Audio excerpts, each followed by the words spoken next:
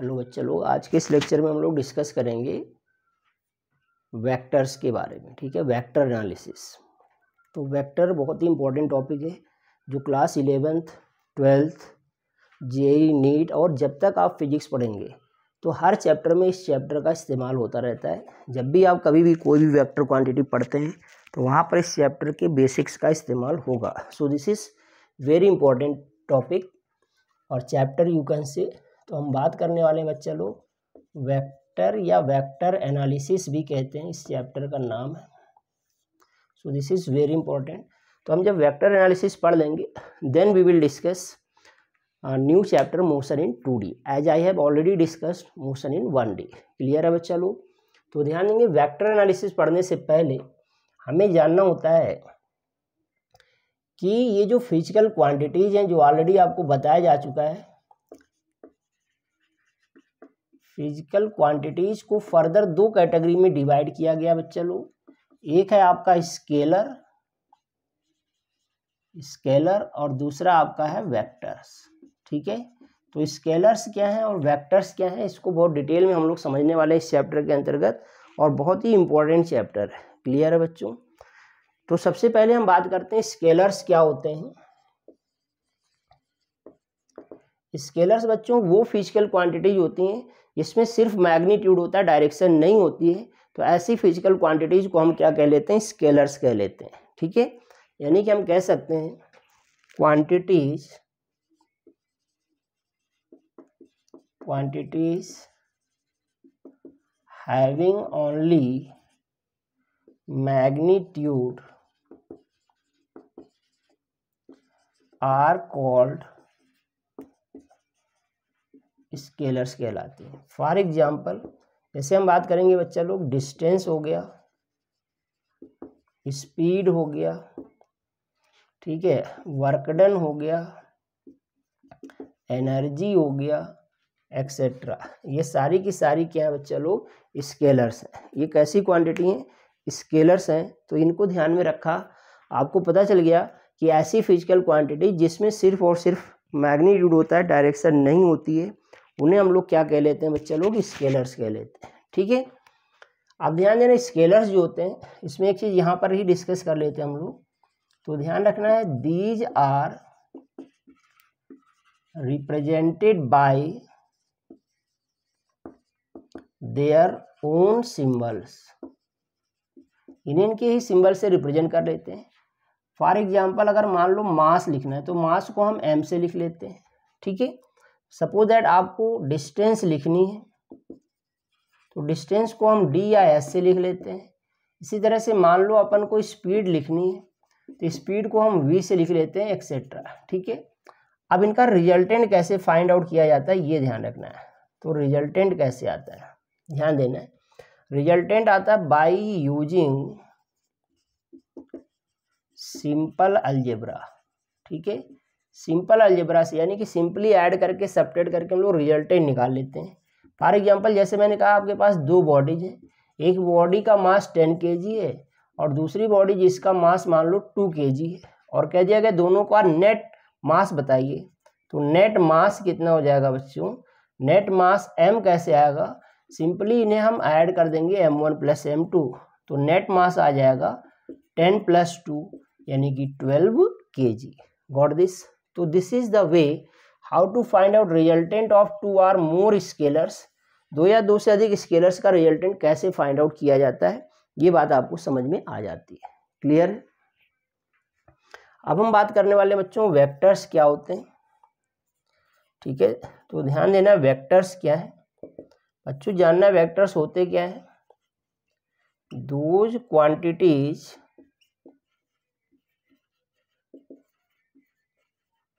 which have magnitude and direction both.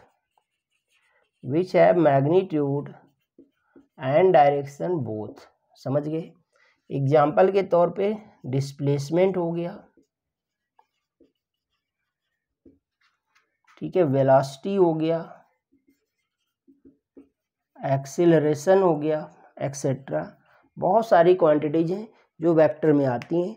जिनमें magnitude भी होगा, डायरेक्शन भी होगी, ऐसी क्वांटिटीज़ क्या कहलाती हैं? वेक्टर्स कहलाती हैं, ठीक है? अब हम देखेंगे ये रिप्रेजेंट कैसे की जाती हैं। क्लियर है बच्चों? तो ध्यान देना है। These are represented by an arrow over self ठीक है? दैट इज़ एग्ज़ाम्पल के तौर पे ध्यान देना है। जैसे अगर हमें डिस्प्लेसमेंट वेक्टर लिखना है तो एस के ऊपर एरो लगा देंगे। वेलासिटी वेक्टर लिखना है तो इसके ऊपर एक नन्हा एरो लगा देंगे। इसी तरह से एक्सिलरेशन लिखना है, इसके ऊपर नन्हा एरो लगा देंगे। फोर्स लिखना है, इसके ऊपर एरो लगा देंगे। मोमेंटम लिखना है, इसके ऊपर एरो लगा देंगे एक्सेट्रा क्लियर है? तो इस तरह से किसी भी वेक्टर को रिप्रेजेंट करने के लिए हम लोग एक एरो का इस्तेमाल करते हैं। ठीक है? अब ध्यान देना है। इसमें जो एरो होता है ना, इसमें भी बहुत सारी इम्पोर्टेंस है। तो ये जो एरो है बच्चों, इसमें दो चीज़ें आती हैं, ध्यान देंगे एरो में। एक तो ये जो इसका अगला भाग होता है, इसे हम लोग एरो हेड कहते हैं। क्या कहते हैं? एरो हेड और इसे हम लोग टेल कहते हैं। तो ध्यान देना है ये टेल हो जाता है और ये क्या हो जाता है? हेड हो जाता है। क्लियर है बच्चों? इस टेल को हम लोग इनिशियल पॉइंट भी कहते हैं। क्या कहते हैं? इनिशियल पॉइंट भी कहा जाता है और इसको हम लोग फाइनल पॉइंट या टिप कहते हैं। क्या कहते हैं? फाइनल पॉइंट या फिर टिप भी कहते हैं। क्लियर हो गई बात बच्चों? और इस एरो में दो बातें होती हैं। एक तो इसका जो एरो हेड है, ठीक है? तो ये जो एरो हेड होता है, ये जो होता है, ये डायरेक्शन रिप्रेजेंट करने के लिए इस्तेमाल होता है, ठीक है? और ये जो लेंथ ऑफ़ एरो है ये जो लेंथ ऑफ़ एरो है लेंथ ऑफ़ एरो ये जो होता है, ये मैग्नीट्यूड बताता है उस क्वांटिटी का। क्या बताता है? मैग्नीट्यूड और ध्यान देना है, ये डायरेक्टली प्रोपोर्शनल होता है मैग्नीट्यूड के। यानी कि लेंथ जितनी ज़्यादा होगा किसी भी वेक्टर क्वांटिटी का, इसका मतलब उसका मैग्नीट्यूड उतना ही ज़्यादा होता है। ठीक है? तो वेक्टर क्वांटिटीज कैसे रिप्रेजेंट होती हैं? By a small arrow over the quantity और इस एरो में दो बातें होती हैं, एक तो लेंथ ऑफ़ एरो दूसरा arrow head arrow head direction represent करता है और लेंथ ऑफ़ एरो क्या बताता है? मैग्नीट्यूड ऑफ़ क्वांटिटी बताता है। ठीक है, वही बात। अब हम बात करते हैं रिजल्टेंट की। यानी कि दो या दो से अधिक वेक्टर्स का रिजल्टेंट कैसे फाइंड आउट किया जाता है? तो ध्यान देना है बाई यूजिंग वेक्टर अलजेब्रा क्या लगाते हैं? वेक्टर अलजेब्रा से हम लोग resultant of two or more than two vectors find out करते हैं। अब ये जो वेक्टर अलजेब्रा ना, ये मेनली तीन रूल्स हैं। तो पहला एक होता है बच्चा लोग, आपका ट्रायंगल रूल या ट्रायंगल मेथड। और जो दूसरा है, वो था पैरलोग्राम मेथड। पैरलोग्राम मेथड या पैरलोग्राम रूल। और जो थर्ड होता है, वो था पॉलीगन रूल। क्या होता है बच्चों? Polygon rule. क्लियर हो गई बात। तो ये वेक्टर जेबरा के तीन मेथड हैं और इन तीनों में से ही हम पूरे चैप्टर में डिस्कस करेंगे। दो या दो से अधिक वेक्टर्स का रिजल्टेंट निकालना तो इन्हीं में से किसी ना किसी मेथड को लगा करके हम लोग रिजल्टेंट तक पहुँचते हैं, जिसे ही हम क्या कहते हैं? Vector addition, subtraction, multiplication, division, ये सारी बातें इसमें हम लोग पढ़ेंगे। क्लियर है बच्चों? तो आइए आगे बढ़ते हैं अब हम लोग। तो आपने देखा कि जो वेक्टर्स हैं, उसमें दो बातें हैं मैग्नीट्यूड और डायरेक्शन ठीक है? मैग्नीट्यूड और डायरेक्शन क्लियर है बात? तो आगे बढ़ते हैं अब हम लोग, ध्यान देते हैं कि कैसे हम लोग ये वेक्टर अलजेब्रा का इस्तेमाल करके resultant of two or more than two vectors find out करते हैं, ठीक है? तो लेट्स सी चलो ध्यान देना है। क्योंकि वेक्टर की डेफिनेशन में ही लिखा हुआ है कि इसमें मैग्नीट्यूड है और डायरेक्शन है। क्लियर है? तो मैग्नीट्यूड और डायरेक्शन, और का मतलब बीच में इंटू साइन हिडन है। जैसे कोई भी हमने वेक्टर लिखा ए तो इसका मैग्नीट्यूड रहेगा, जिसे मॉड साइन के अंदर लिखेंगे, और इसकी डायरेक्शन रहेगा, जिसे हम एन कैप लिखते हैं। ऐसे कोई भी वेक्टर लिख सकते हैं। जैसे अगर वेक्टर बी लिखना है तो इस वेक्टर बी का मॉड रहेगा और डायरेक्शन रहेगी, ठीक है? यानी कि ये जो एन कैप हम लिख रहे हैं ना, ये ये होते हैं बच्चा लोग यूनिट वेक्टर इन्हें कहते हैं। क्या कहते हैं बच्चों? यूनिट वेक्टर और इसका इस्तेमाल सिर्फ़ डायरेक्शन रिप्रेजेंट करने के काम आता है। क्लियर है ना? तो वेक्टर में दो बातें हैं, मैग्नीट्यूड और डायरेक्शन। और टर्म जो हम इस्तेमाल कर रहे हैं, उसके लिए हम मैथमेटिकली डॉट सिंबल का इस्तेमाल करेंगे या फिर मल्टीप्लिकेशन का इस्तेमाल करेंगे ठीक हो गया? अब बच्चों, हम सबसे पहले बात करने वाले हैं कि ट्रायंगल मेथड क्या है और इसे कब यूज़ करते हैं। तो सबसे पहले हम बात करने वाले बच्चों ट्रायंगल मेथड ठीक है? तो ट्रायंगल मेथड तो सबसे पहले बच्चों, हम समझेंगे मेथड यूज़ कब करते हैं, ठीक है? तो ध्यान देना है this method is used to find the resultant resultant of two vectors when they act in the same plane at two different points. ठीक है दैट इज़ जैसे मान लो, कोई एक वेक्टर ए है, ये वेक्टर ए यहाँ पर एक्ट कर रहा है, और एक ये वेक्टर बी है, वो यहाँ पर एक्ट कर रहा है, ठीक है? तो ऐसी कंडीशन में इनका रिजल्टेंट फाइंड करने के लिए हम ट्रायंगल मेथड का इस्तेमाल करते हैं, ठीक है? बात समझ आ गई? तो ट्रायंगल मेथड में ये बताया गया कि इस मेथड से हम दो वेक्टर्स का रिजल्टेंट तब फाइंड आउट करते हैं, जब ये जो दो वेक्टर्स हैं, वो एक ही प्लेन में दो अलग अलग पॉइंट से एक्ट कर रहे हों। तो ऐसे में हम ट्रायंगल मेथड लगाते हैं। मेथड क्या है? अभी मैंने ये नहीं बताया। अभी मैंने सिर्फ़ ये बताया कि ये मेथड हम इस्तेमाल कब करते हैं। ठीक है? अब हम बात करने वाले ये मेथड होता क्या है? ठीक है? तो अब यहाँ पर मैं रूल लिख रहा हूँ। तो ध्यान देना बच्चों according to according to this method if two vectors in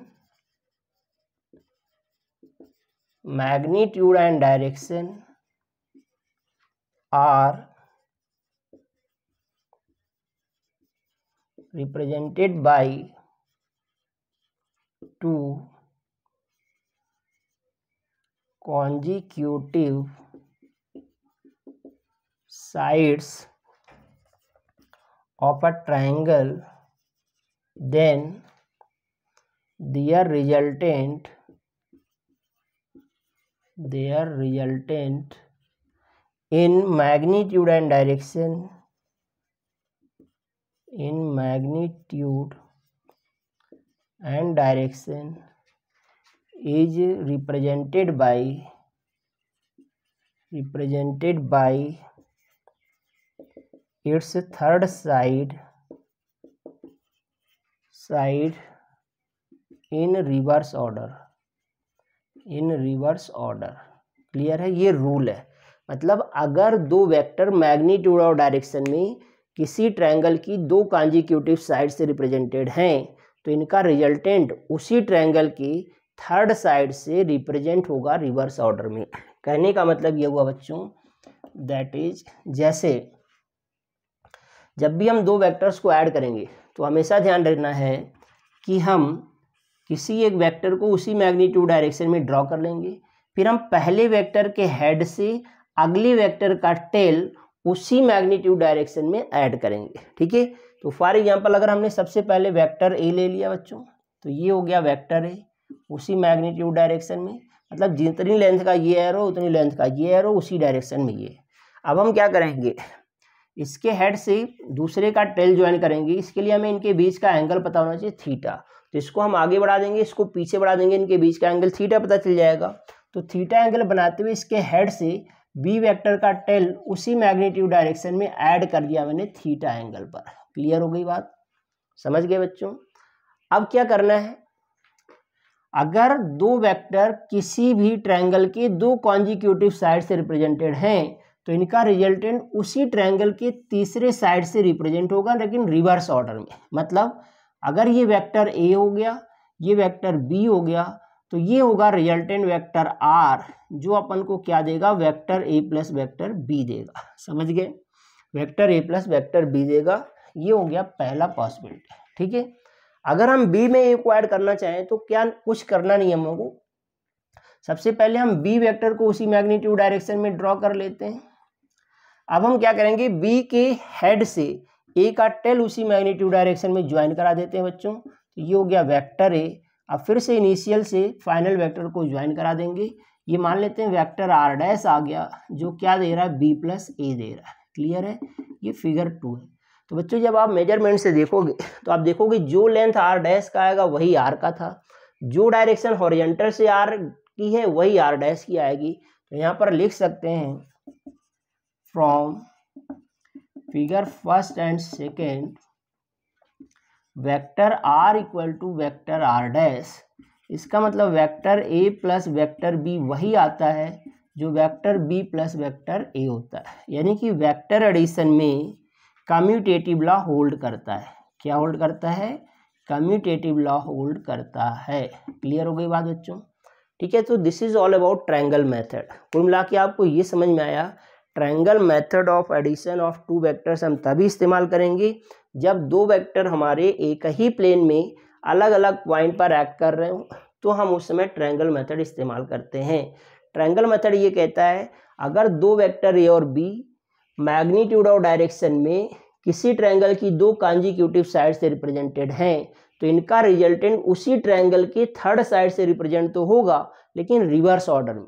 ये बहुत ज़रूरी पॉइंट है। रिवर्स ऑर्डर का मतलब इसका रिप्रेजेंटेशन डायरेक्शन, ये है इसका ऑर्डर ये है तो ये आना चाहिए था इधर, लेकिन इधर ना करके इधर लिया जाता अपोजिट लिया जाता है, इसी को इन रिवर्स ऑर्डर कहा जाता है। क्लियर हो गई बात बच्चों?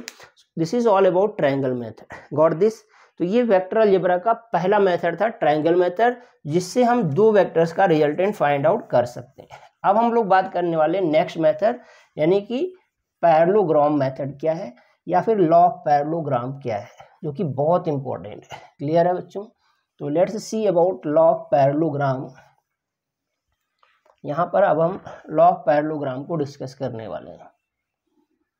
ठीक है बच्चों? तो ध्यान देना है। हम यहाँ पर बात करने वाले हैं लॉ ऑफ़ पैरेललोग्राम ठीक है?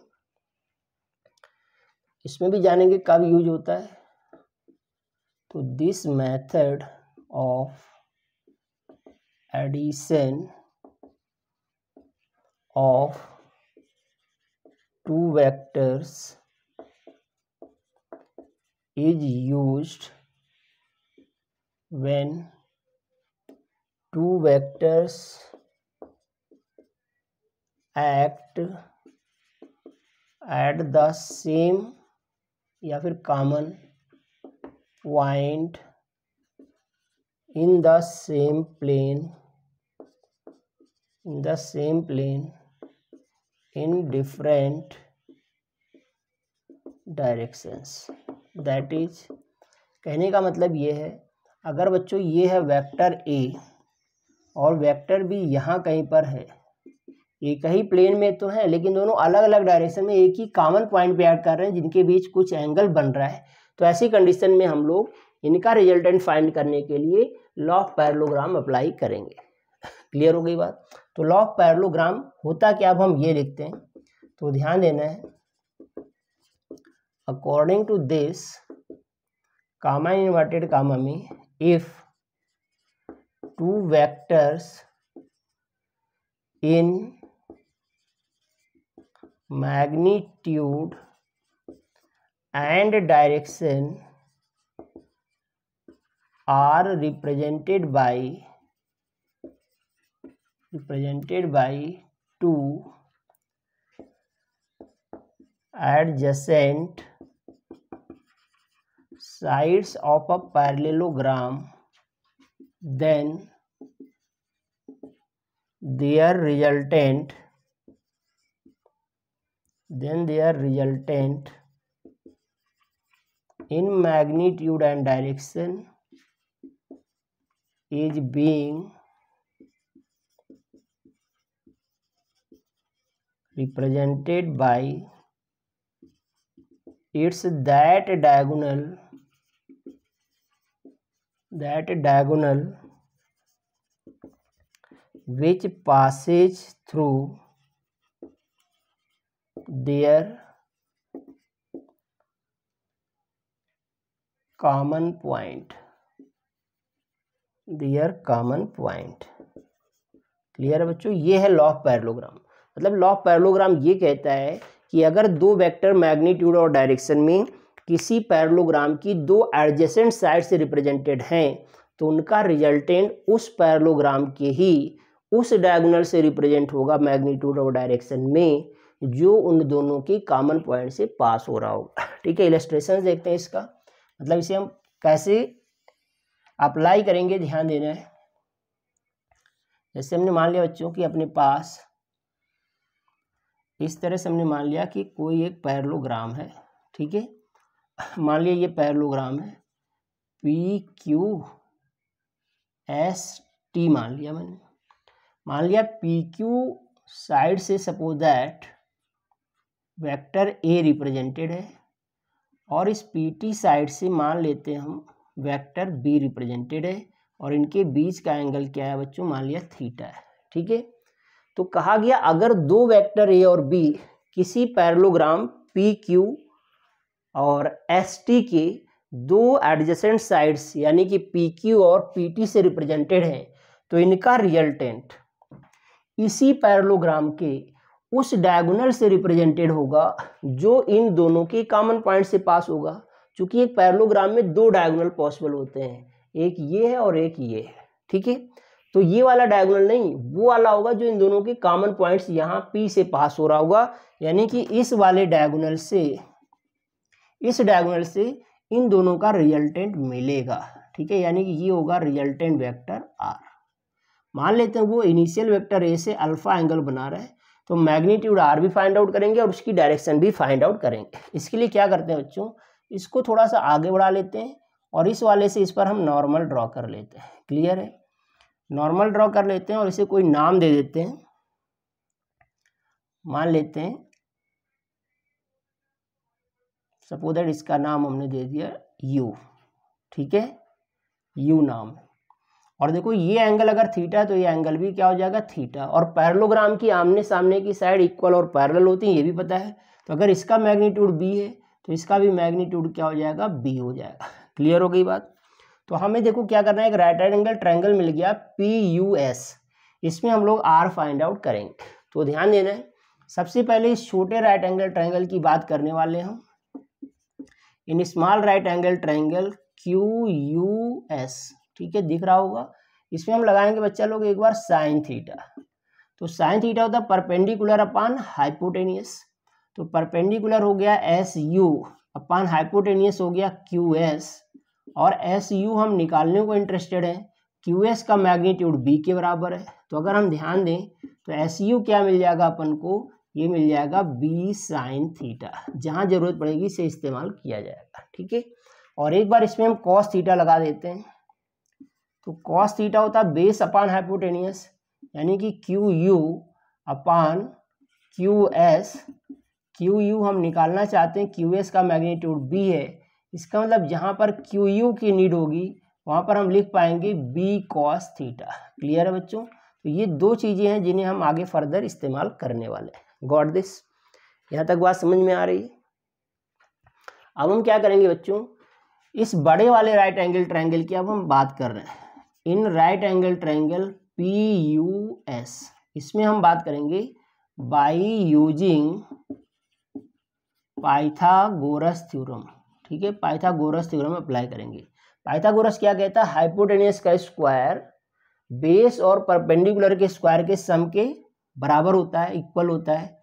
यानी कि पी एस का square will be equal to P U का स्क्वायर प्लस एस यू का स्क्वायर क्लियर है बच्चे लोग? तो देखो पी एस का स्क्वायर एज इट इज़ रहेगा। पी यू को हम क्या लिख सकते हैं? पी क्यू प्लस क्यू लिख सकते हैं। तो P Q plus Q U का स्क्वायर प्लस एस यू का स्क्वायर वैल्यूज़ रख लेते हैं। पी एस का मैग्नीट्यूड क्या? आर है तो R square equal to P Q का मैग्नीट्यूड क्या है? ए है। प्लस क्यू यू की वैल्यू ये है बी कॉस थीटा तो बी कॉस थीटा का whole square plus S U की वैल्यू ये है बी साइन थीटा का होल स्क्वायर इसी को सॉल्व कर लेते हैं। तो आ जाता है बच्चों आर स्क्वायर इक्वल टू यहाँ ए प्लस बी का होल स्क्वायर लगेगा तो A square plus B square यानी कि B square cos square theta और प्लस आएगा two A B cos theta और प्लस इसका स्क्वायर तो ये हो जाएगा B square sine square theta अब ध्यान दो बच्चों B square cos square theta और B square sine square theta से बी स्क्वायर कॉमन कर सकते हो। तो R square equal to A square plus B square किया कॉमन तो कॉस स्क्वायर थीटा प्लस क्या आ जाएगा? साइन स्क्वायर थीटा और प्लस का ये है two A B cos theta clear है?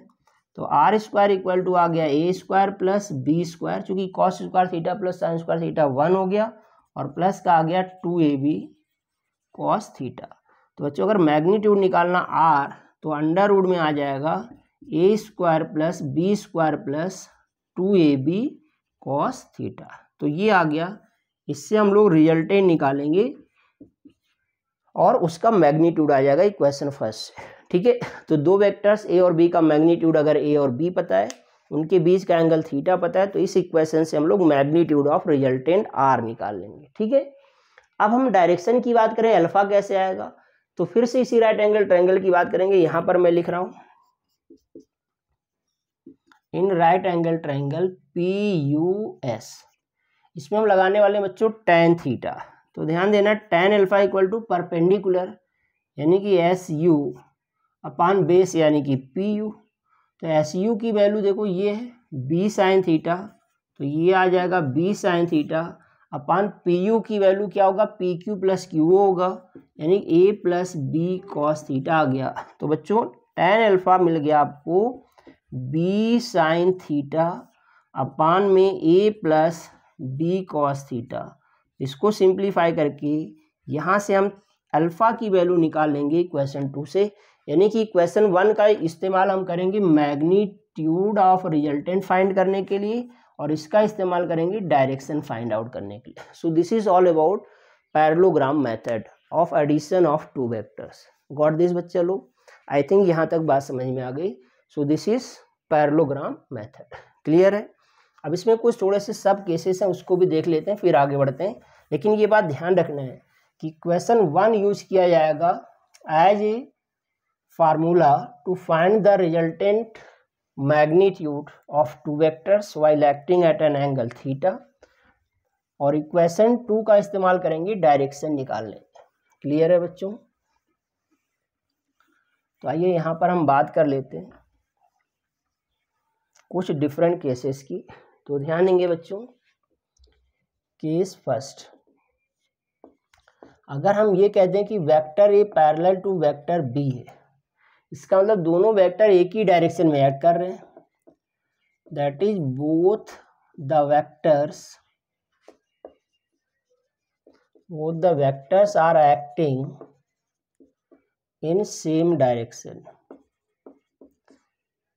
तो थीटा कितना हो जाएगा बच्चों? ज़ीरो डिग्री ऐसे में हम इक्वेशन फ़र्स्ट अगर लगाएँगे तो आर इक्वल टू आ जाएगा under root A square plus B square plus two A B cos zero degree cos zero की वैल्यू वन है तो आर इक्वल टू आ गया under root A square plus B square plus two A B तो R equal to मिलेगा बच्चे लोग, इसे लिख सकते हो ए प्लस बी का होल स्क्वायर यानी कि आर इक्वल टू मिलेगा ए प्लस बी यानी कि ये दो वेक्टर के रिजल्टेंट की मैक्सिमम वैल्यू होती है। तो वन मार्क में ये भी पूछा सकता है कि दो वेक्टर्स का रिजल्टेंट मैक्सिमम कब होगा? आप कहेंगे जब दोनों सेम डायरेक्शन में ऐड कर रहे हूँ, यानी कि दो वेक्टर पैरेलल हो एक दूसरे ठीक है? समझ गए? और जो रिजल्टेंट की डायरेक्शन आएगी, वो क्या आएगी? इसके लिए अगर हम सेकेंड इक्वेशन यूज़ करें तो टेन अल्फ़ा इक्वल टू क्या पड़ा था? बी साइन थीटा तो zero degree upon A plus B cos zero degree बच्चों sine zero value zero into कुछ भी लिखा हो zero upon A plus B चूँकि cos zero one zero upon कुछ भी लिखा हो क्या आने वाला? ज़ीरो तो tan alpha equal to zero इसका मतलब ये टेन ज़ीरो की वैल्यू होती है तो एल्फा इक्वल टू क्या आ गया? ज़ीरो इसका मतलब ये है, इसका मतलब ये है कि अगर एक वेक्टर ए इधर लग रहा है, इस पॉइंट पर और इसी पॉइंट पर एक दूसरा वेक्टर बी इधर लग रहा है तो जो रिजल्टेंट होगा वो इधर आ जाएगा, ये वेक्टर आर हो जाएगा और इसकी भी डायरेक्शन वही होगी जो वेक्टर ए की होगी। क्लियर है ना? यानी कि दो वेक्टर अगर पैरेलल ऐड कर रहे हैं तो उनका रिजल्टेंट उसी डायरेक्शन में आएगा और उन दोनों के मैग्नीट्यूड के सम के बराबर आ जाएगा। यानी कि ये वन मार्क के लिए भी इंपॉर्टेंट है कि दो वेक्टर्स का रिजल्टेंट मैक्सिमम कब होता है? You will say when both are acting in the same direction got this समझ आ गया? केस टू पर आते हैं बच्चा लोग। Case second. ध्यान देना है। If A perpendicular to B हो जाए दैट इज़ थीटा कितना हो जाए? 90 डिग्री यानी कि दो वेक्टर इस तरह से ऐड कर रहा हूँ। अगर ये वेक्टर ए है और ये वेक्टर बी है, इनके बीच का एंगल कितना है? 90 डिग्री तो क्या सिचुएशन आती है? तो मैग्नीट्यूड ऑफ़ रिजल्टेंट देखोगे तो आ जाएगा under root A square plus B square plus two A B cos ninety degree cos ninety zero होता है। तो रिजल्टेंट का मैग्नीट्यूड आ गया under root A square plus B square इससे मैग्नीट्यूड निकल जाएगा। और डायरेक्शन निकालनी है तो tan alpha equal to B sine ninety upon A plus B cos ninety तो यह आ जाएगा बी अपान ए यानी कि अल्फ़ा इक्वल टू आ गया tan inverse B upon A clear है बच्चा लोग? मतलब रिजल्टेंट का मैग्नीट्यूड यहाँ कहीं पर आएगा आर जो इतना आएगा और डायरेक्शन यहाँ से निकल जाएगी। क्लियर हो गई बात? ठीक है केस थर्ड की बात यहीं पर कर लेते हैं। इफ़ वेक्टर ए जो है, वो anti parallel to vector B हो जाए मतलब थीटा जो है 180 डिग्री हो जाए मतलब एक दूसरे के अपोजिट हो जाए। कहने का मतलब ये बच्चा लोग, ये मान लेते हैं वेक्टर ए है और इधर कहीं ऐड कर रहा है वेक्टर बी और इनके बीच का एंगल कितना? 180 डिग्री अगर ऐसी सिचुएशन आ जाए तो फिर मैग्नीट्यूड ऑफ़ रिजल्टेंट कैसे आएगा? R equal to under root A square plus B square plus two A B cos one eighty degree तो आर इक्वल टू आएगा बच्चों under root A square plus B square plus two A B into में minus one चूँकि cos one eighty minus one होता है। तो ये मिल जाएगा आपको R equal to under root A square plus B square minus का टू ए बी इसे लिख सकते हो R equal to square root of A minus B का होल स्क्वायर यानी कि आर इक्वल टू आ जाएगा बच्चों, अगर देखें तो आ जाएगा ए माइनस ना लिख करके डिफरेंस भी लिखते हैं, और ये दो वेक्टर के रिजल्टेंट की मिनिमम वैल्यू होती है। समझ गए? ये डिफरेंस भी इसलिए लिख रहे हैं कि इसके दो मतलब है। मतलब रिजल्टेंट आर जो आएगा, वो ए माइनस बी आएगा तब जब ए ग्रेटर देन बी होगा। और ये रिजल्टेंट आएगा R equal to B minus A. ये तब होगा जब A vector less than B होगा, ठीक है? और डायरेक्शन की बात करें अगर बच्चों तो tan alpha equal to B sine one eighty degree upon A plus B cos one eighty degree तो साइन वन एट्टी क्या हो जाता है? ज़ीरो ऐसे में अल्फ़ा इक्वल टू क्या आ जाता है? ज़ीरो आता है। मतलब अगर ए ज़्यादा है तो रिजल्टेंट वेक्टर इधर आ जाएगा आर और अगर मान लो ये होता वेक्टर बी और ये होता वेक्टर ए ठीक है? तो ऐसी कंडीशन में रिजल्टेंट वेक्टर इधर आ जाता ठीक है? तो ये वाला ये है और ये वाला ये got this so this is all about how to apply law of parallelogram to find the resultant and direction of two vectors A and B got this बच्चे लोग? तो आई थिंक यहाँ तक बात समझ में आ गई। क्लियर है? अब हम नेक्स्ट और थर्ड मेथड की बात करने वाले हैं पॉलीगॉन मेथड क्लियर है? तो let's see about polygon method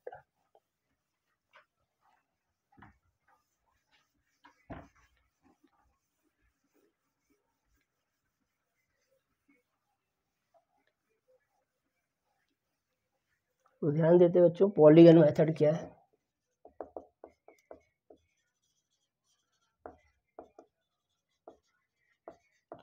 वो नाम से ही क्लियर है पॉली मीन्स होता है मेनी बहुत सारे। तो दो से अधिक वेक्टर्स का रिजल्टेंट जब निकालना है तो हम पॉलीगन मेथड का इस्तेमाल करते हैं। क्लियर है तो this method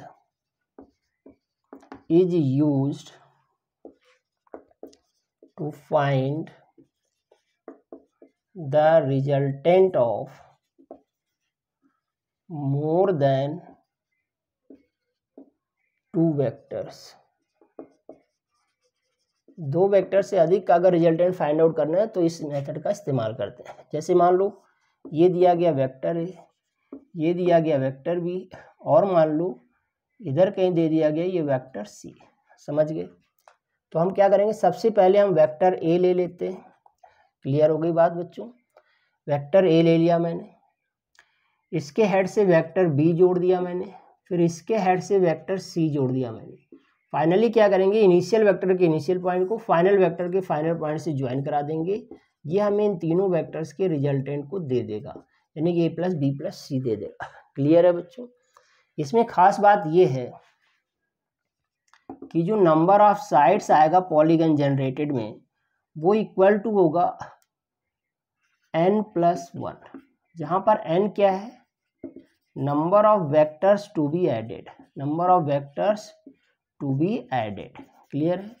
यानी कि आपने देखा, जब तीन वेक्टर ऐड करने थे तो हमें रिजल्टेंट जो पॉलीगन बना, उसमें चार साइड बन रही जब दो होता था तो तीन बनती थी। इसी तरह से अगर चार होंगे तो पाँच बनेंगे एंड सो वन और दूसरा इंपॉर्टेंट पॉइंट ध्यान रखना है if the given vectors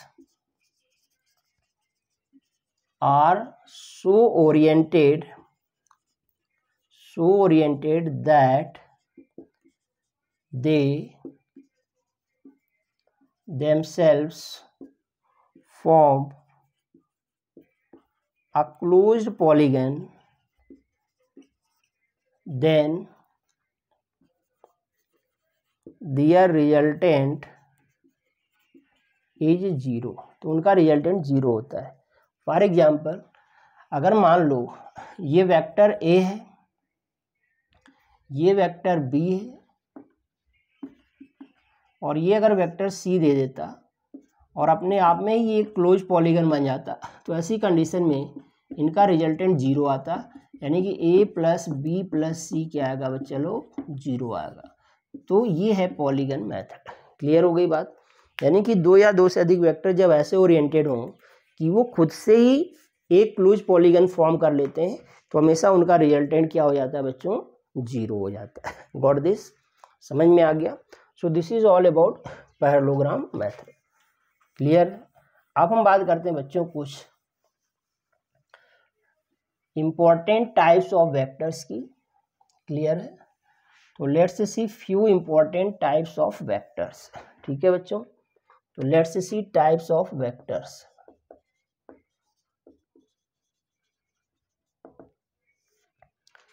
बच्चों, सबसे पहले आता है इक्वल वेक्टर्स क्या आता है?